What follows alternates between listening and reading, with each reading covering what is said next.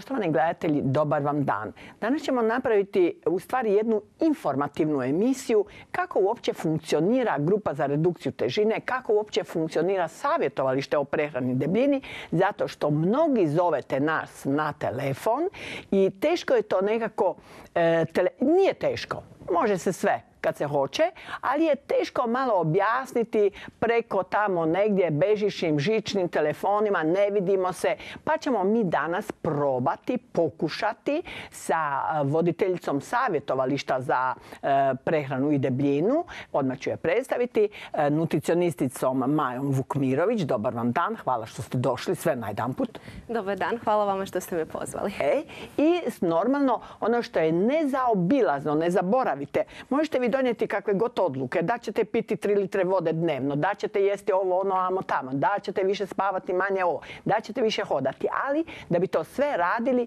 vama treba jedna psihološka zrelost, znači znanje o svom psihološkom profilu, a tu je naša psihologinja Ivana Sabol, Hvala vam što ste došli, hvala vam, dobar dan.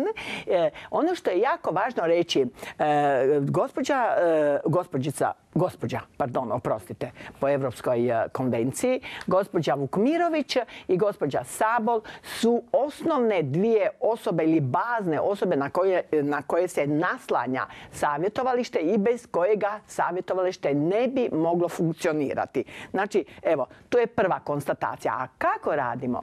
Kako vi dolazite tamo? Što je problem? Što nije problem? Sve ćemo tijekom 56 minuta kazati ako Bog da, jel da? Evo, dobro. Inšallah, kaže ona u, onoj, u onom Sulejmanu, jel da? E, dobro. Znači, idemo. E, međutim, sad ćete se iznenaditi šta ću vam nešto reći. Tu je nutricionistica, ali kako sam ja sad u jednom problemu zdravstvenom, ne ja, nego u mojoj obitelji, e, čovjek ne može više uzimati antikoagulante zbog lijekova koji su tu e, nisu kompatibilni. Onda smo otkrili da kroz prehranu idealno djeluje kapula, luk, onaj veliki luk, glavica luka. I evo, svi vi koji iz nekog razloga ne možete uzimati baš kemijske lijekove za antikoagulaciju zbog nekih drugih stvari, uzimajte luk, svakodnevno jedan luk, bilo pečen, bilo kuhan, bilo kako god hoćete. Ja sam se upetljala u vašu profesiju. Nema problema. Nema problema. Dobro. Evo, mi krećemo. Znači, krećemo na način da nam se najprije objasni što je uopće postupak nekoga. Evo, danas me zvala jedna gospođa koja ima 30 kila viška, koja ima blizu dosta godina već i ona se pita da li bi ona mogla kod nas naći neku neko novo saznanje, novo znanje, novu podršku. Najprije će mi sa strane prehrane reći naša e, e, gospođa Vukmirović, a onda ćete mi vi reći što je, jer ona sad misli da je ona već, da ne treba neke savjete specijalne, pa da vidimo da li treba ili ne treba. Evo, znači njen postupak, evo, ona. Dakle, gospođa bi se trebala javiti u savjetovalište, e, odnosno ponedjeljak i četvrtak od 14.30 do 19.30. Znači, netko će biti tamo, odnosno ja ću biti tamo. E, grupa za redukciju počinje s radom u 16.30. Dakle, ona ima dovoljno vremena da dođe, da se upoznamo, da malo popričamo individualno, da vidimo gdje je njezin problem, kakve su njene dosadašnje navike, e, što bi trebalo prvo promijeniti, s čim možda možemo pričekati, znači koliko ona unosi hrane, koliko unosi tekućine, kolika je tjelesna aktivnost. Također ćemo ju izvagati da odredimo koliko točno ima kilograma, koji je indeks tjelesne mase. To nam je jedan od prvih pokazatelja e, prekomjerne tjelesne težine. Također ćemo odrediti e, sastav organizma, znači koliko ima masnog tkiva, koliko mišićnog, koliko kostiju, koliko vode, da li možda ima problema sa zadržavanjem vode, odredit ćemo i koje su poželjne vrijednosti za njezinu dob njezinu konstituciju i nakon toga ćemo znači, napraviti jednu anketu o prehrambenim životnim e, navikama, znači životnom stilu. Također radimo anamnezu e, gdje e, steknemo uvid u njezino zdravstveno stanje i e, pokažemo je kako se vodi dnevnik prehrane. Znači to je ono prvo što e, napravimo sa svima koji dođu. I plati članarinu? Da, naravno, učlani se u, udrugu, odnosno postane član grupe za redukciju i može ostati već na prvom sastanku, pogledati kako grupa funkcionira, malo se upoznati sa članovima. Važno je da se oni svi upoznaju, da se onda osjećaju puno ugodnije u toj grupi. I kolika je članarina godišnja? E, godišnja članarina je 60 kuna. Znači, to je 5 kuna mjesečno. E sad, kad bi ja vas pitala, gospođo Sabol, ljudi e, vide, čuju informaciju, dobiju na javnozdravstvenim akcijama ili od nekoga im se prenese. Ili sad recimo kad budu čitali vaš jedan odličan članak u jednom časopisu, mogla bi ga i reklamirati jer nije profitabilan, ali neću, evo, bit ću poštena prema svojoj kući. E, znači, oni često puta se zalete, dođu puni entuzijazma i na jedan put nakon mjesec dana nestanu. Gdje je tu pomak, ja bih to nazivam pomak, ali ne znači to da smo se pomaknuli, nego gdje tu je najveći, najveći razlog zašto ljudi ne ustraju u nečemu što su sami inicirali, sami se javili, sami tražili informacije? Ma, gledajte, zapravo to je stvar odluke. Kad shvatite da nešto s vašim zdravljem ili sa vašim izgledom ili sa vašim e, funkcioniranjem u životu ne štima, onda krenete po nekakvu dijagnozu. I kad otkrijete da imate 25, 30 ili ko zna koliko viška kilograma, onda shvatite da morate nešto promijeniti u svom načinu života. I dobijete informaciju šta bi trebalo jesti, što ne bi trebalo jesti, na koji način bi se uopće trebalo ponašati. E, sada dođe do toga da mislite da ste sve otkrili i očekujete čudo. Očekujete da se to u nekoliko tjedana istopi. Što se zapravo događa u svim reklamama proizvoda za e, mršavljenje da ćete u roku od mjesec dana izgubiti 5, 10 ili ne znam koliko kilograma, što baš nije uvijek ni realno, a nije ni dobro. Da u kratkom vremenu izgubite toliko kila nije, nije dobro, nije zdravo. E, I onda kad se vaša očekivanja ne ispune, vi izgubite naglo motiv da se, e, da se trapite. Jer hrana je ne samo pogonsko gorivo, ona je zapravo i zadovoljstvo. I ljudi koji vole jesti, a takvih među našim e, klijentima ima puno. Oni će reći, je, sve je to lijepo što ste mi rekli, ali ja volim jesti. Dakle, meni je teško se nečeg odreći. I ako još se ne ispune očekivanja da će u kratkom vremenu izgubiti 5 ili 10 kilograma, naravno da onda gubi se i entuzijazam za to. Druga stvar je koju isto treba uzeti u obzir, a to je da eh, kad vi organizam priviknete na neku veću količinu hrane, vi vrlo teško eh, mijenjate način uzimanja hrane i količinski smanjenu, dakle redukciju i to je onda nešto što vas čini nervoznim i onda vi sami sebi kažete ah, to se ne isplati, ja sam i tako sigurna da će se te kile vratiti i sad se ja trapim, a bez veze, već sam probala ovu dijetu, onu dijetu, nije ispunilo moje očekivanja. Dakle, stvar je u odluci, prvo, drugo u našem očekivanju, koje se uvijek ne ostvari ili barem ne onako brzo kako smo očekivali i sada tu veliku ulogu odigra grupa podrške koja isto tako je prošla kroz to, pokazali su se kod nekih i dobri rezultati i oni su zapravo najbolji EPP ovima koji sumnjaju, krenu u nešto, ali sumnjaju u rezultat. E, psihološka podrška je pri tome važna jer e, mi neki puta jedemo ne samo zato što smo gladni, e, čak često. Aha, to ćemo malo poslije, zato što je to sad jedna tema mhm. koja iziskuje malo više.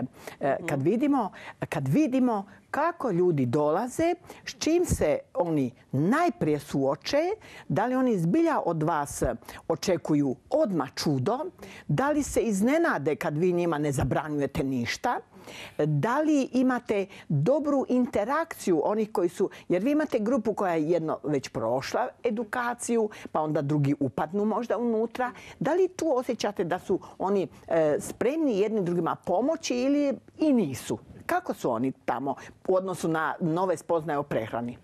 Znači, oni kad dođu, sad dolaze s različitim, naravno, motivima, različitim razlozima. Neki od njih su već bolesni pa moraju, moraju gubiti kilograme. Neki od njih nisu još, ali su svjesni da ako ne promijene nešto da će vrlo brzo postati. I to na početku su obično svi, ono što mi svima zajedničko, je da su svi dosta entuzijastični da kreću to onako sa jako puno energije i sad ćemo mi to sve promijeniti, ono sve će biti super. Nakon nekog vremena dolazi taj, taj trenutak kušnje, znači kad treba stvarno promijeniti navike treba uvesti neke promjene, zato mi ne uvodimo sve promjene odjedanput, nego krećemo jednu po jednu promjenu. Znači, ako ne doručkuje osoba, onda prvo uključimo doručak u prehranu. Ako nema dovoljno tekućine, nadoknadimo tekućine. Znači, krećemo sa nečim što je značajno za tu konkretnu osobu. E, nakon nekog vremena oni malo im splasne ta motivacija. Znači, e, neovisno čak i o rezultatima. Neki imaju jako lijepe rezultate, izgube deseta kilograma i jednostavno splasne motivacija. To će možda gospođa psiholog znati bolje da li su oni vidjeli joj ja sad mogu pa eto to je sve lagano ovaj, ili je negdje drugdje nešto se dogodilo. Isto tako ima ih koji e, nemaju rezultate dosta dugo vremena, ali svejedno ne, gube motivaciju, znači dalje su ustrajni i dalje se drže tih navika. E, što se tiče grupe, oni su jedni drugima jako velika podrška. Znači, stvarno e, su postanu jako brzo se e, nađu. Znači, to je zajednička tema, ti kilogrami, gubitak kilograma, zadržavanje kilograma, povratak izgubljenih kilograma i tu si jako, jako puno pomognu. Znači, i onima koji su novi, ovi stariji članovi, puno pomognu, kažu pa daj meni je bilo na početku teško, pa ja sam isto bio malo gladan jer nisam mogao pojesti više onoliko koliko sam navikao pojesti, pa onda ovom novom članu bude malo lakše. Isto tako nakon možda mjesec, dva, tri, neko zapadne u neku krizu motivacijsku ili dođe do stagnacije što se tiče gubitka kilograma, što je isto tako veliki izazov za njih. E, gdje im onda e, grupa također kaže pa ja sam isto tako ovaj, stajao mjesec dana nisam gubio kilograme pa je opet krenulo. E, ili osobe vrate izgubljene kilograme što im isto neko iz grupe kaže pa ja sam isto vratio kilograme pa pa sam eto opet krenuo, nastavio sam sa režimom prehrane koju smo tu dogovorili, pa sam ovaj, opet počeo gubiti kilograme. Vi ste znači, danas bili na jednoj promociji, zapravo ne promociji, nego na jednoj, eh, kako bi se rekla, jednom, eh, da, da, promociji. dalmatinskog pršuta i koji je u stvari eh, dobio licencu ili potvrdu ili kako god to hoćemo da je zaštićeni proizvode te regije dalmatinske regije. Možete li nam nešto reći s obzirom da ste nutricionistica i vjerojatno prvo što e, što bi svojima, e, ja ću reći korisnicima, nisu oni još pacijenti, jel da? Ne, ne. Ne, oni su korisnici koji vole naći neko utočište i naći neku podršku za rješavanje nekog problema. Zato vole vas tamo vidjeti jer misle u sebi Ma, ako ona meni sve kaže to će biti dobro, sigurno će biti dobro. Više možda vjeruju vama nego, e, nego e, gospođi Vukmirović jer ona mora neke zabrane dati. E, Vi ne dajete zabrane. Ja ne dajem zabrane, ja dajem podršku. dobro, evo, tu ćemo se vratiti. Ali sad ćemo reći, znači, kada dođu nama, e, vama u stvari, u vašu grupu, onda vi bi prvo možda kad vidite da neko jede ogromne količine baš masnih stvari, da li vi njima odmah nekako svratite pozornost na to stavite crvenu kvačicu ili kažete to ćemo postepeno regulirati pa će to biti umjereno. Pa e, kad imate tako jedan kvalitetan pršut, je li kvalitetan dalmatinski pršut? Jeste ga probali? Pršut je odličan, da. Je, probali ste ga, jel da? Super, evo. Drago mi je, bili ste u kulturi za prehranu. E, da, u, centru, za... kulturu prehrane. Da, u Nazoru je 18. To je jedna odlična, odlična organizacija gdje se u stvari rade i dobre kvalitetne kuhinje kuhinje, e, edukativne kuhinje, čak iz cijelih dijelova Hrvatske naše, čak i iz svijeta, jel da? Da, da. Imaju jako kvalitetne radionice, da. Eto, da. E, zašto o njima govorim? Zato što zbilja mi s njima imamo jedan interni ugovor o suradnji i mislim da je to jako dobro jer mi ne možemo sve u tim našim grupama, ali tako interaktivno možemo, jel da? Pa ako god želi e, s njima stupiti u kontakt, nazove vas e, u udrugu. E, tako da ćemo im dati taj kontakt. E sad, znači, smo na masnoći. Jel smo na masnoći? Da, pršut nam je na masnoći. Kako vi kažete, bacite ono masno, a pojedite ono meso. Pa dobro, mogu, nekad zadržati ono masno. Naime, očekuju kad, sad, kad su krenuli taj, tu promjenu, očekuju jako velike zabrane i očekuju da sad više ništa neće smijeti, da neće smijeti čokoladu, da neće smijeti meso. U stvari se ugodno iznenade kad e, im kažemo da smiju jest. Znači da čak jedan veliki dio članova je rekao da sad kad su krenuli sa redukcijom jede bolje nego kad, Mhm. kad nisu bili Hoćete na redukciji. Da. prokomentirati, ne Da, zaboravite. da. Da, odnosno više uživaju u hrani, ajmo tako reći. E, znači, nema zabrana za konkretnu namirnicu. Stvari samo količina. Vi možete jesti pršut i čokoladu i popiti vino. Znači, sve se to može, ali to sve treba biti u nekom balansu sa ostalim namirnicama. I možda ono što je najvažnije kad uzmete njihovu anamnezu zdravstvenu, Da.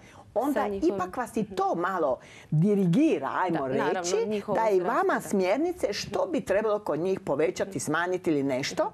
Da. Mislim da je to jako kod- važno. Da, naravno, kod osoba koje imaju bilo kakav zdravstveni problem, to će utjecati na, njihovo, na njihovu prehranu. Odnosno, morat ćemo e, pripaziti na e, na namirnice da bi, da bi unijeli što više e, onog što će im olakšati neke tegobe, odnosno da ne unose namirnice koje će im otežavati te tegobe. Ako imate visok krvni tlak, moći ćete vi pojesti pršut ili nešto slano, ali, Ali? u vrlo maloj količini, znači puno manjoj količini nego netko ko nema takav Zbog čega? problem. Da. Evo. Zato što će sol, da, sol će vezati vodu, zadr- zadržavat će vodu u organizmu i to će on dizat, I podići. onda će to dodatno Da. ugroziti zdravlje bubrega, e, svih organa Da, koji trebaju eliminirati tekućinu iz tijela, srce, ono što je najvažnije. tako? Znači, to je jako u vezi važno e, sta- zdravstveno stanje bilo koga ko je tamo došao. Ukoliko je totalno zdrav, recimo zdrav je, ali želi pomaknuti svoje granice prehrane, želi biti malo bolje educiran i sve, onda mu je, su sve mogućnosti otvorene, onda ste možda malo i direktniji, pa baš zabranite nešto ili Ne, u stvari onda niti i također ne idemo na, zabranu. E, Znači neke stvari e, možda, kako ja njima znam reći, možda još nisu došle na naplatu. Znači ako vi pijete kavu prije doručka, to nikako nije dobro niti za vaš želudac, niti za vaš tlak. Znači zamijenit ćemo, odnosno preporučit ću vam da zamijenite e, redoslijed, odnosno da prvo pojedete doručak, a tek nakon toga popijete kavu. Znači bez obzira da li vi imate visok tlak ili ne, jer se je poznato da ako ćete dugo godina e, pit kavu na prazan želudac, da to može izazvati iritaciju sluznice probavnog sustava i isto tako želuca. i Znači, da. teže možda Možete, da. koristiti lijekove koji, koje mi svi da. tražimo kad smo u stanju. Rekla sam da ćete mi komentirati njenu izjavu kako. Pa, ovo što je sada rekla je zapravo jako dobro. E, Čovjek kad ima zabranu, To, u njemu da. se stvara jedan otpor, nesvjesni. I onda bi, da ti ćeš meni zabraniti, ma ja ću baš. Kao da se inati e, nutricionistu, a ne sebi. Da. Ne svača zapravo. Ne da ne svača, nego nije svjestan. To je bolja rečen- riječ. E, dakle, mi neke stvari radimo nesvjesno. E, dobiti puno kilograma uvijek nije spontano, nego je proces koji traje. A voljeli bi izgubiti kilograme brzo, što isto ne ide. Naprosto e, proces je dobivanja kilograma, a bogme proces je i gubljenja kilograma. E sad kad mi to osvijestimo, onda znamo da e, te promjene koje nam savjetuju, promjene u načinu prehrane, promjene opće stila života, s više kretanja, s više zdrave hrane, a e, zanemarimo ove fast food e, proizvode, onda zapravo e, moramo prihvatiti i to će se svi i nutricionisti i liječnici složiti da mi moramo trajno promijeniti stil života i stil prehrane. To je najteže. A to je najteže. Mi bi rado da progutamo nekakvu vrećicu nekog proizvoda koji će nam reducirati kilograme i kad to završi, mi ćemo nastaviti živjeti kao prije. E, onda će se kilogrami vratiti. A prihvatiti unaprijed da ćemo doživotno paziti šta jedemo, da ćemo doživotno kretati se više nego prije, to je već malo teže. A je li vi mislite da to što smo sad rekli doživotno, da je to pejorativno? Da je to... A kad kažemo doživotno, Da. to zvuči tako. Jel da? Ali ako mi prihvatimo, dakle ako donesemo neku odluku koja neće biti jednokratna, nego će biti trajni proces i prihvatimo da je to proces, onda zapravo i nemamo problema. Kad dobijete dijete, niste ga dobili pa ćete ga sutra u vrtić vratiti, više nemate s njim. To je proces, vi ćete biti roditelj za cijeli život. Tako doživotno. Doživotno. I to onda ne dož- doživljavamo pejorativno. A ovo nam se čini, joj, uskraćuju mi hranu doživotno. Pa to izgleda strašno. Ali morate mi prokomentirati jednu drugu tu doživotnu stvar. Doživotno jede pohano meso, pire krumpir, sad sve vidite, vi vidite sve što je unutra, užas od masnoća, soli, e, tehničke, e, tehnološke pripreme, što ćemo malo isto objasniti, E, i dva pera zelene neke salate. Pije kavu natašte, doživotno uvečer na sjece, samo sjeci, sjeci, sjeci, toči, toči, toči i popi, popi, popi, pojedi, pojedi, niti ne sažvače. Doživotno. I o tome niko ne misli da je to doživotno, ali je uz to doživotno došlo popratno. Kardiovaskularni problemi, visoki da. Tlak, visoke masnoće u krvi, nepokretnost, jer zglobovi počinju... Sve je Kako to? doživotno. E, I mislimo i ne razmišljamo o tome. Ali Da. kad mi nešto zabraniš i kažeš da je to doživotno, e, Jel da? to je nešto drugo. A kad doživotno e, nađete jednog krasnog čovjeka, evo, kao što i naša psihologinja, ima jednu krasnu ljubav, vi to mislite sada doživotno, je li tako? Mislim doživotno. Eto, vidite. I ništa se ne bojimo Ništa toga. ne Da bojimo, pače, ne, da pače. Jako smo sretni što će to biti doživotno. Da, neke stvari volimo doživotno, a zabrane ne volimo Da, doživotno. ali imamo jednu stvar koju je e, gospođa Vukmirović rekla kad je kazala i onda neki izgube krasno 10 kila u, čak u 6-7 mjeseci, što je Da, da, odlično. dobro. I na jedan put vide, ha, pa šta onda? Da li oni su ustrajali u odluci, ali s nekim tajnim ciljem i kad su vidjeli da tako malo stesani nisu taj cilj ostvarili, recimo upoznali krasnu osobu ili promijenili posao ili ne znam šta se Da, desilo. što je još u pozadini nečeg, da. Što mislite o tim ljudima? Da li oni uz odluku su trebali i znati što je, zašto su oni tu odluku donijeli? E, tu smo sad kod onog dijela što sam ja već spomenula. E, donijeti odluku je jako važno. Jer bez te odluke mi teško mijenjamo svoje navike. Navike su inače nešto što teško mijenjamo. Bile one dobre ili loše, teško se mijenjaju. E, ali osim donijeti odluku, važno je imati i cilj. Taj cilj nam može biti e, kratkoročni, a to je izgubit ću ovaj mjesec kilogram, šta ću moći, ući ću e, odjeću koju sam prije godinu dana mogla nositi, sad ne mogu, jel? Ili može biti dugoročni cilj. Ja želim e, živjeti zdravim životom, želim živjeti e, dulje i zdravije. To znači ja ću promijeniti neke stvari u svom životu i meni je cilj da sad skinem kilogram, idući mjesec opet kilogram i da dođem do nekakve težine koja, koja mi se čini da je dobra, ne mora to biti po zdravstvenim e, regulama, da je to onda jako... Osobno za nećemo, da, nećemo svi biti manekeni, Ne, jel? I, I u svim težina. godinama ne možemo i održavati istu kilažu, to je tako. Onda mi zapravo e, podsvjesno, ako smo donijeli taj cilj, mi podsvjesno radimo da se on ostvari.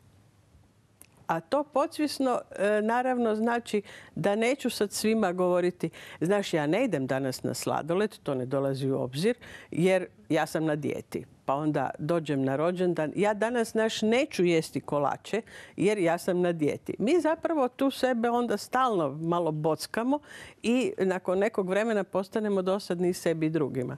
Dakle, Stvar je odluke koju ti imaš ili nemaš, stvar je cilja koji si donio i koji ti se čini dovoljno pri- privlačan Tako da mu posvetiš e, svoj život i da promjene koje radiš, radiš ne kao tlaku, nego kao nešto što ti želiš.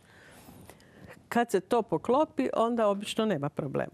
Vi vjerojatno, poslije ćemo na jednu vašu grupu analizirati, baš su, sistem kako vi radite, ali ćemo se vratiti na problem, e, znači dolazi se prvi put, sad se pristupa jednoj pravoj analizi tijela, ajmo reći vrijednosti u tom tijelu ili nevrijednosti. Sad ćemo vidjeti kako to izgleda, jer ću zamoliti moju režiju da nam stavi e, slajd e, jednog listića točno šta dobije svaka osoba kad stane na vagu e, bez cipela jer je kontakt potreban sa strujem. Evo, listić je tu i dok god govori gospođa Vukmirović o listiću, molim da listić bude na ekranu. Evo, on se znači vagne. Idemo. Znači osoba e, stane na tu vagu, e, ono što mi upisujemo je znači tip tijela, spol, godine i visina. Znači to je ono što nam osoba sama kaže o sebi. E, vrijednosti koje nam vaga daje su težina, znači prvi neki pokazatelj koliko imate kilograma, koliko ima tu viška ili nema. E, BMI, odnosno indeks znači, tijelesne mase. Znači imamo visinu koju je rekla ona 163. Možemo 160, i reći oni koji možda dobro ne vide jer ima ljudi. I onda znači, imamo tu težinu. Visina 160. Kod ove konkretne osobe dob je bila znači ženska osoba standardne građe, e, dob 33 godine, visina 163 cm. Znači težina je kod nje bila 92,3 kg. E, njezin indeks tjelesne mase, znači indeks tjelesne mase je omjer visine i težine, odnosno koliko vi imate Znači težina podijeljena sa visinom na kvadrat. Visinom na kvadrat, da, visina u metrima. Da, da. Znači, e, težina u kilogramima, visina u metrima. Pardon, da vas e, malo ispravim. Znači, ako je imala 92 kg i 300, podijeli sa 1,63 na, kvadrat. I dobije cifricu 34,7. 34,7, dakle, od konkretne gospođe. Staćemo na 34,7. Pa nam objasnite taj indeks tjelesne mase. Što, gdje ova osoba spada? Da. E, znači, indeks tjelesne mase preporučljiv da bude između 20 i 25. Kod mlađih osoba on može biti 18, 19, 20, čak se preporuča da bude bliže toj donjoj granici. Kod starijih osoba, znači kako starimo, malo se mijenja udio masnog tkiva i i sastav organizma. Znači taj BMI, odnosno indeks tjelesne mase može biti i nešto viši, znači može biti već 24, 25 i da to nije nikakav problem. Kad pređe 25... I dođe do 30. Da, znači pređe 25 već smo ovaj, prešli u prekomjernu tjelesnu masu. To je ono na čemu vi radite kao prevencija. Da, znači prevencija već tog e, stanja, znači te prekomjerne tjelesne mase. Znači to vam je onih 5 do 10 kilograma viška, onih prvih 5 do 10 kilograma viška. Da. Kad pređe 30... Vratimo ceduljicu, molim vas. Evo ga. Znači, ovaj je 34,7. Kad pređe 30, e, prešli smo u pretilost. Znači, e, debljina... Prvi stadij debljine. Da, prvi stadij debljine, odnosno e, to, je, to su već kilogrami, znači kad imamo 30 BMI, imamo kilograme koji već počinju smetati zdravlju. Znači to je već debljina koja ozbiljno remeti funkcioniranje organizma. Kad pređemo 35, prelazimo u drugi stadij debljine i to je već ono što se počinje nazivati morbidna pretilost. A pogotovo 40 i tako Pogotovo 40, a, a, imamo i osoba koje su imale BMI 40 i više. Tako je. I, i sad dolazimo do ovih kilokalorija da, ili kilođula. Znači, iduća vrijednost je BMR, odnosno bazalni metabolizam. E, to je energija koja je potrebna vašem organizmu kad mirujete. Znači, kad apsolutno ništa ne radite. E, ležite u krevetu i imate nekakvu minimalnu moždanu aktivnost. Evo, sjedimo mi, ali mi sada trošimo energiju jer mislimo. Trošimo jer mislimo i pričamo. Da, znači, već smo malo više potrošili. Da, I to aktivne radnje. E. E, znači, e, ta, ta vrijednost nam je važna zato da znamo ispod koje vrijednosti ne smijemo ići. Znači, kad idemo na redukciju tjelesne mase, držimo se te vrijednosti plus još možda nekih sto stotinjak kilokalorija unesemo, znači ljudi vrlo često idu na redukcijske dijete koje e, sadrže 1000, 1200, čak i manje od 1000 kilokalorija. Dogodi se to da e, unesu manje energije nego što je potrebno za njihov bazalni metabolizam. E, organizam, odnosno metabolizam se usporava i vi ne mršavite, odnosno mršavite puno teže nego što biste mršavili da unesete da zadovoljite potrebu za bazalnim metabolizmom. E, to je jako važno reći. Vratit ćemo se na ceduljicu, možete nas i vratiti u studio. To je jako važno reći jer ljudi misle ako si prikrate sav unos hrane, ako e, počnu bulazniti da neće jesti po deset dana ili nešto, oni svi smršave. To je normalno da će smršaviti, jel tako? Međutim, oni ne djeluju samo na svoje fizičko oštećenje zdravlja, nego i na i djeluju na mozak. I e. sad je to moja omiljena tema. Dobro, pa se vraćamo nastaviti tamo gdje smo stali. Može poslije kada... Da, samo da treba znati zapravo kad mi e, svom organizmu uskraćujemo hranu, e, kakvu poruku šaljemo mozgu? E, nećeš dobiti jesti Mozak šalje preko žlijezda s unutarnjim izlučivanjem poruku organizmu da treba štediti energiju, ne treba trošiti. Dakle, nećete gubiti kilograme, neće masne stanice se topiti, jer tko zna kad će opet dobiti hranu. To je ovo što je rekla gospođa Okmi. Zaustavlja se, usporava se do maksimuma, jer se je kemijski je savršen organizam. Mi ga pocijenjujemo. Idemo dalje. E, zato je možda bolja ona, zato i zapravo savjet nutricionista, da se jede 5 do 6 manjih obroka dnevno. Upravo zato da bi se metabolizam stalno poticao na rad i da bi ono što uneseš potrošio. E, naravno, zato je najbolje da uz nekakvu dijetu ili uz e, kontrolirano unošenje hrane bude i dovoljno fizičke aktivnosti što današnjem čovjeku nažalost vrlo često fali. Mi se premalo krećemo, e, jedemo prekaloričnu hranu, unosimo e, u sebe više kalorija nego što nam treba i to se nažalost taloži tamo gdje ne treba. Kao i uvijek. Uglavnom, važno je da, da znate da mozgu šaljete poruku i onim kad previše jedete i onim kad premalo jedete. Ali kad previše jedemo, imamo još jednu, e, e, ja bih rekla, štetu u organizmu. E, želudac je mišić. Šta on radi ako mu ubacimo četiri litre obujma ili litru obujma? On se se rastegne se, da. Organizam je vrlo prilagodljiv. Odnosno, ako vi njemu dajete jako puno hrane, on će se prilagoditi na tu veliku količinu.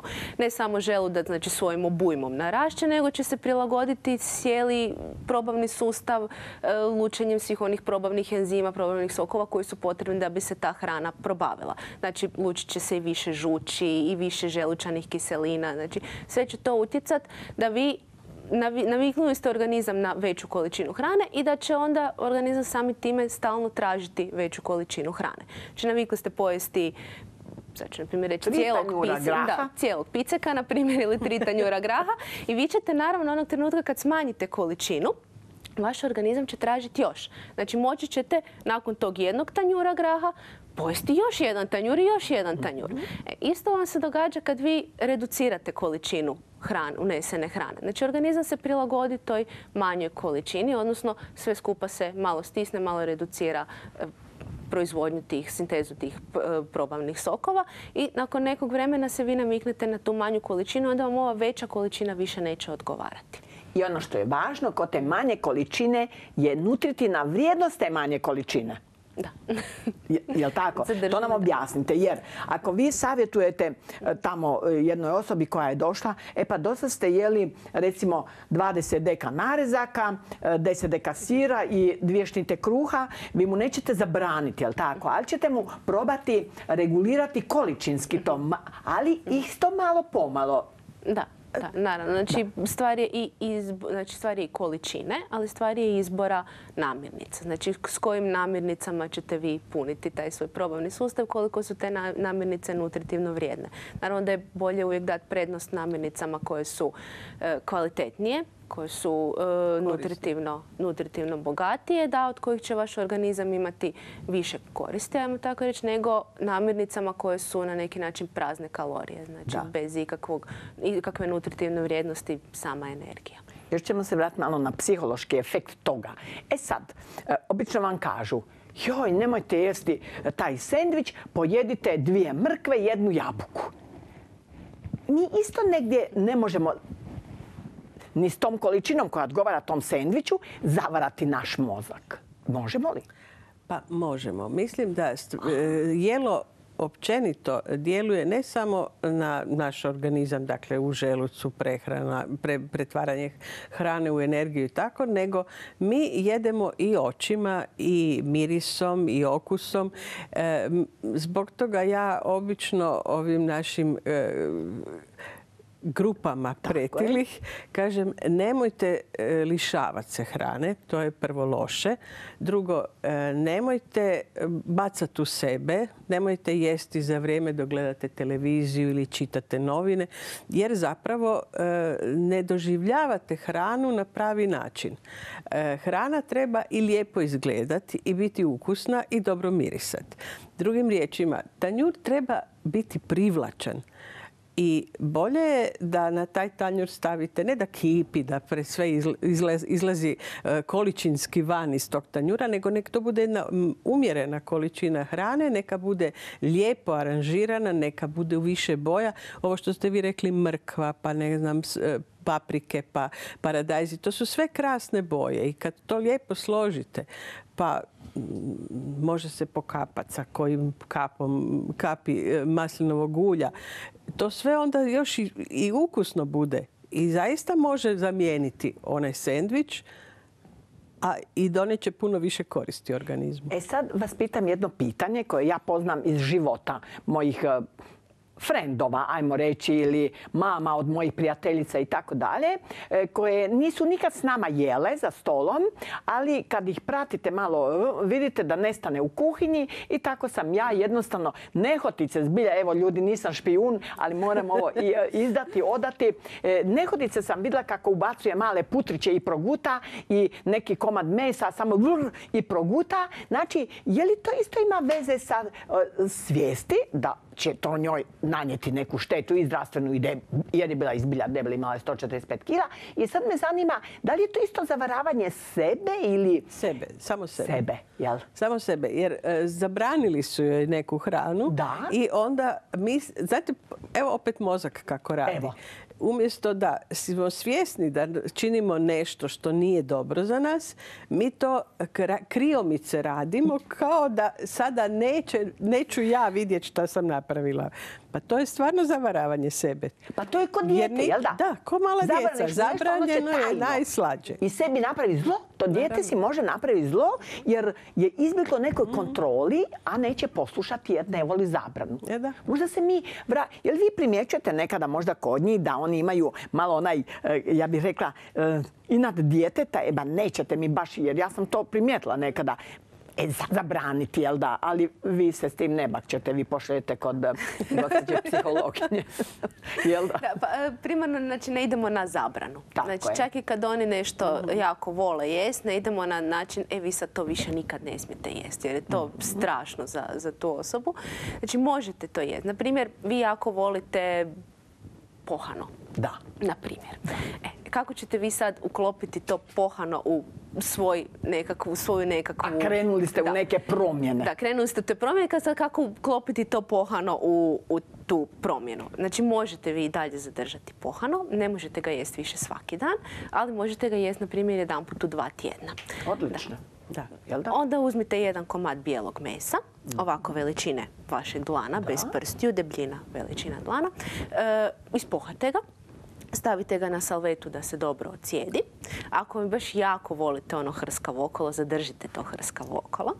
Ali taj, e, to pohano, znači obavezno jedete uz umjesto uz pomfri jedite ga uz rizi bizi, znači riža, grašak, mrkvica i uz to imajte negdje sa strane nekakvu papriku, nekakvo sirovo povrće, znači ili kisele krastace, ili znači nekakvo povrće koje je svježe, znači nije, nije kuhano. I na taj način vi uklopite to svoje pohano u taj svoj novi režim prehrane.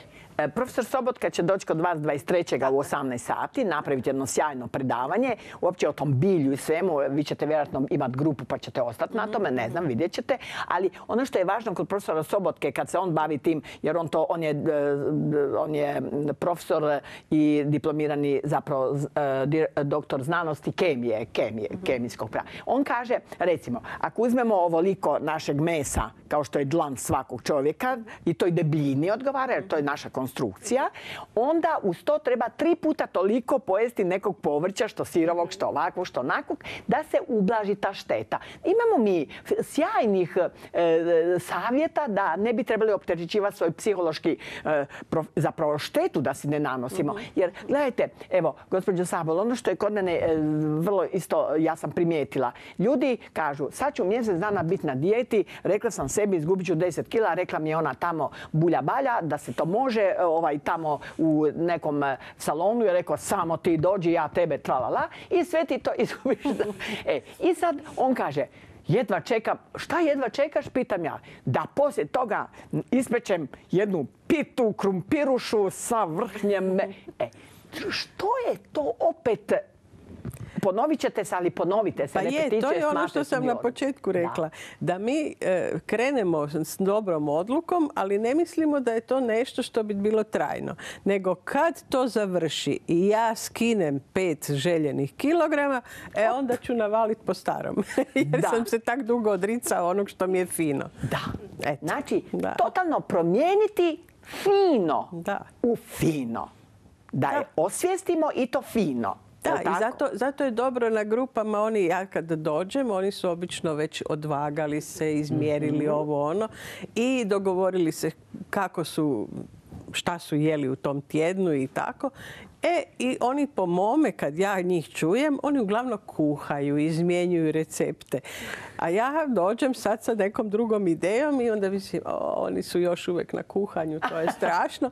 Ali zapravo, oni na taj način e, ipak krenu u nešto jer izmjenjuju recepte što znači da e, proširuju svoj asortiman jela i kad uzmu nešto novo što je neko drugi isprobao i uklapa se u e, majne savjete o tome šta je zdravo i dobro, oni ipak profitiraju na taj način. Tako neka oni kuhaju, pustim ja njih.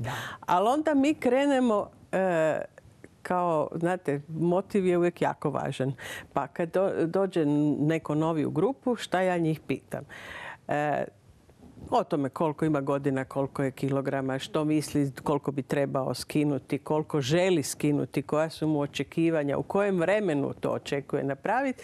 Zašto je to meni važno? Da vidim koliko je motiviran i da li će to sad za dva tjedna biti gotovo, jer to nije se ostvarilo i on će odustati. I onda krenemo u priču e, da li je oduvijek bio sklon debljanju? I obično to izazove jednu dodatnu informaciju koju ja i nisam tražila a to je da su svi u njegovoj obitelji debeli, što znači to je stvar genetike. Odmah tražimo i krivca, a kriv nisam ja što sam jeo, ma ne, to je, to je kod mene genetski, da. Onda drugi puta čujete, naročito su žene sklone tome, da su se udebljale nakon poroda jednog, drugog, trećeg.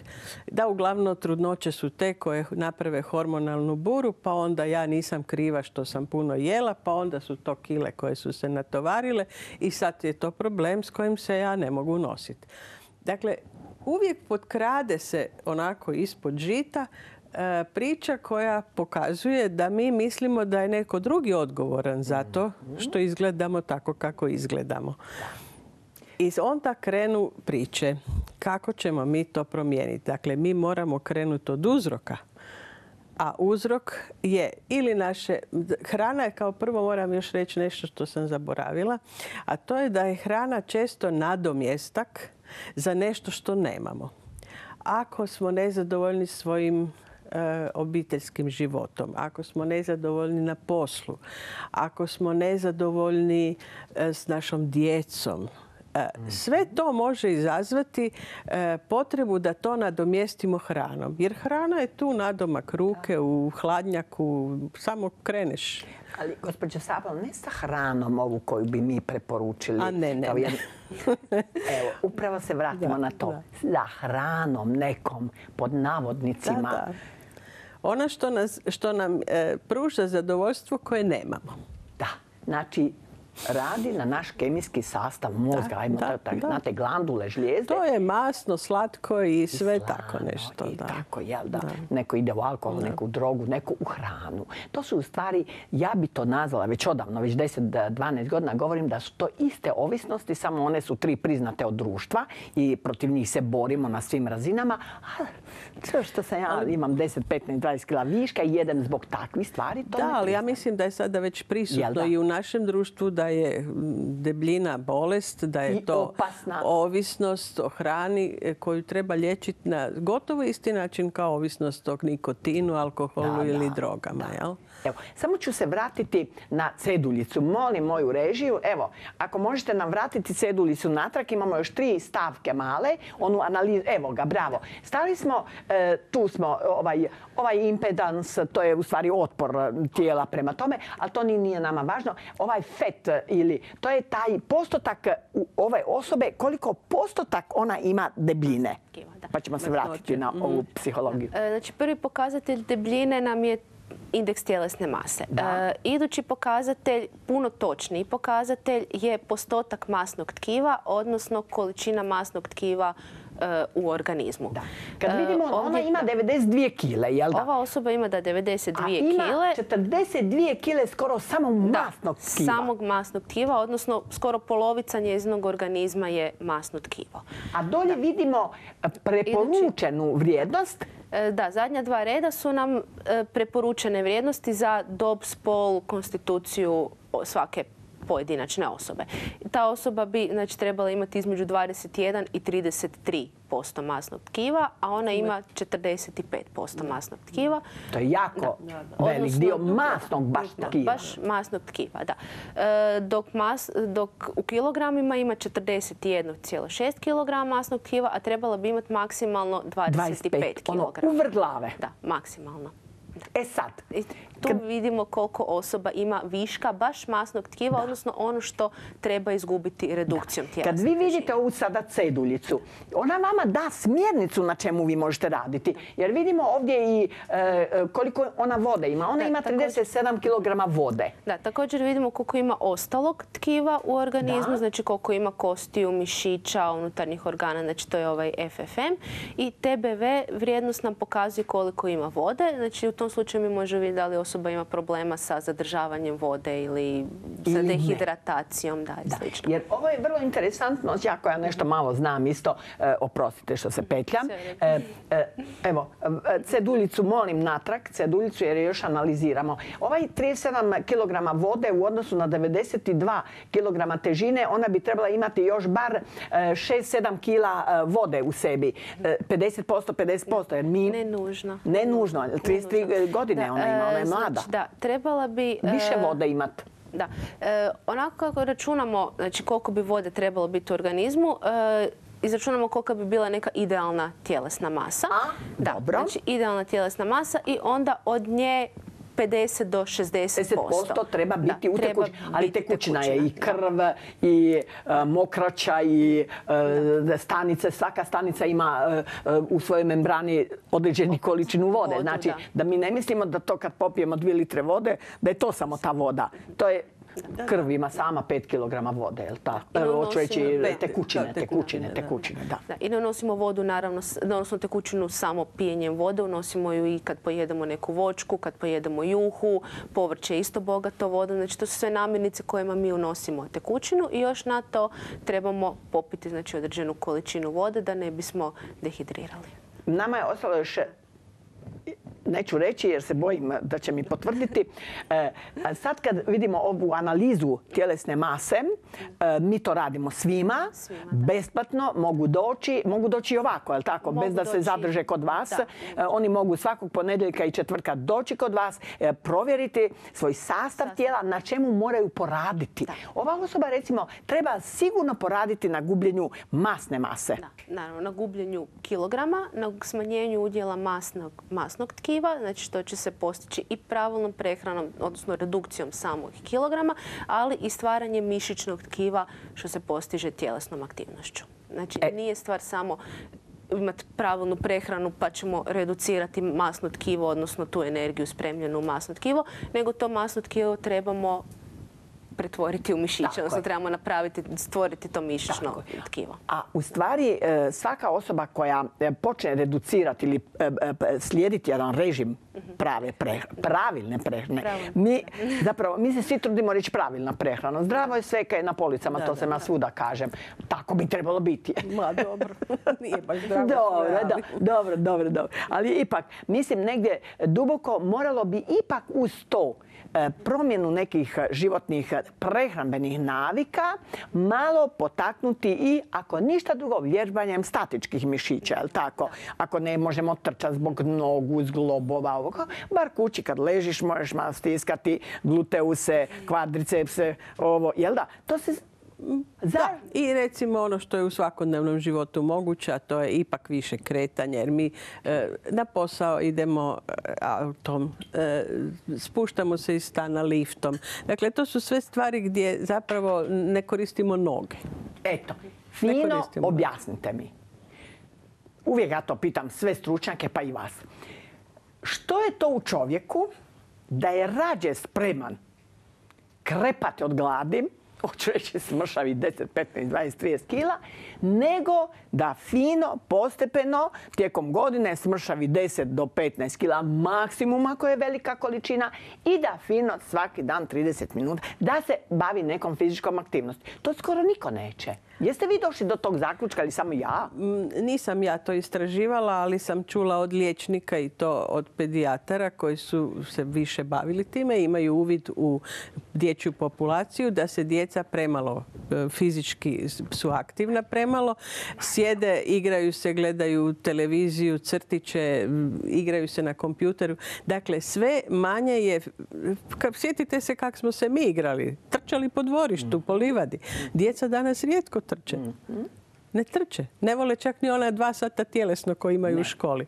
Dakle, samo bi sjedili, gledali u ekran i nešto malo gledali pomake Jesmo li mi, gospođo Sabol, pomalo i odgovorni za te stilove života koje naše Da, to je stvar odgoja. Tu roditelji imaju presudnu ulogu, iako bi oni uvijek voljeli da to preuzme netko drugi. Pa djece pol dana u vrtiću, pa pol dana u školi, pa ja djeten tek vidim na večer molim reži da mi pokaže da vidimo što znači godišnje izgubiti 10 kg. Imamo jedan slajd koji ćete mi vi, gospođo Vukmirović, objasniti. Evo ga. Što je e, benefit za naše zdravlje ako samo godišnje izgubimo 10 kg? E, evo. Znači, Vidljivo, lijepo. Da, od smanjenja tjelesne mase za 10 kg, znači svi smo već nekako znamo, dosta se o tome priča, e, da je da je taj višak tjelesne mase će utjecati na zdravlje, odnosno na funkcioniranje organizma. E, krvni tlak sistolički će se smanjiti za 10 mm žive, dijastolički za 20 mm žive. E, kod osoba koji imaju diabetes, šećer na prazan želudac, odnosno na jutarnji šećer se smanjuje za čak 50%. E, čak kod osoba koje još nisu skinule tih 10 kg, ali su krenule sa promjenama životnih navika, se počinje spuštati šećer. Znači već imali smo klijenata koji su imali vrlo visok šećer, koji su već uveli nekoliko vrlo jednostavnih promjena doručak i povrće uz ručak i već je taj šećer bio niži. E, također se smanjuje protein e, znači, koji e, pokazuje... Da, to je, šećer. Da, dugoročno, znači ako mi imamo jako puno glukoze u krvi tokom dužeg vremena, počet će se stvarati taj protein, odnosno kad se glukoza regulira, on će se prestati stvarati. Znači, njegovi pomaci su, e, dugo treba da bi se on počeo stvarati, da bi on došao do neke razine. Isto tako, nažalost, dugo treba i da bi se on regulirao, ali eto sa ovih prvih 10 kg već počinje Moramo mrvicu smanjenje. požuriti jer će me Da. sasjeći. E, znači, kolesterol, e, trigliceridi u krvi se smanjuju znači, za 10 do 30%, a onaj pozitivan, odnosno onaj koristan kolesterol se povećava za otprilike 8%. E, Također se e, regulira stanje upale, odnosno e, C-reaktivni protein. Protein koji ukazuje na upalne procese u krvožilnom sustavu. Dakle, kad nema niti jedan drugi simptom, odnosno nema niti jednog drugog pokazatelja za kardiovaskularne bolesti, a taj protein je prisutan, također imamo vrlo veliku šansu za oboliti od kardiovaskularnih bolesti. Sjajno ste nam to objasnili. Ovo ako neko nije razumio, Evo, recite mi vi, može li to razumjeti? Jer ja znam da se vama žuri, da se morate dignuti. Nama žuri se. da, mi- može se razumjeti, ali ja se samo ovako osvrćem na ono sve što sam rekla. E, Nemojte varat sebe. Odlično. E, To je vaša kamera. Ja bi jako voljela da kažete našim gledateljima. Dobro, nemojte varat sebe i budite uporni jer kilogrami se ne mogu izgubiti u kratkom vremenu. To nije ni zdravo, ni preporučljivo, a i nema koristi. I nema koristi i zaista može naštetiti psiho, psiho, psihičkom zdravlju čovjeka. Da, i još nešto. I nemojte tražiti krivce izvan sebe. Bravo, hvala vam gospođo Sabo. E, recite jednu rečenicu i onda ću ja pokazati gdje će sutra doći. Dakle, debljina nije samo estetski problem i napokon smo nekako počeli shvaćati, da, napokon smo počeli shvaćati da ta debljina nije samo estetski problem, nego da je to jako, jako veliki e, negativni čimbenik na zdravlje i nećemo ga riješiti samo e, promjenom ovaj tjedan neću jest picu pa ću ja sad smršaviti, nego treba mijenjati životne navike, znači treba uspostaviti jedan režim prehrane i režim života s kojim ćemo biti Dobro. zadovoljni. Evo, e, hvala vam lijepo. Ja ću samo odjavu napraviti. Hvala vam, bile ste sjajne, prekrasne. E, e, evo, za sekundu. Znači, svaki ponedjeljak i četvrtak od 14.30 do 19.30. Tamo je e, gospođa Vukmirović, a i naša tehničarka. Sve možete napraviti. Dogovorit ćete se sa tamo na e, licu mjesta kad želite psihologinju i privatno, ali isto tako i grupno. I to su vam knjigice koje možete uzeti u ljekarni kod nas. Prema tome, produbiti svoje znanje. Budite s nama sljedeću sredu jer ćemo govoriti o starijoj populaciji i osobama s invaliditetom sa magistrom sociologije i pročelnicom Gradskog ureda za e, socijalnu skrb i osobe s invaliditetom, gospođom današnjom fortunom. Pa pripremite se i s pitanjima, ukopčat ćemo vam pitanje. Hvala vam još jedno moje drage gošće, hvala na mojoj režiji, i hvala svima vama. Hvala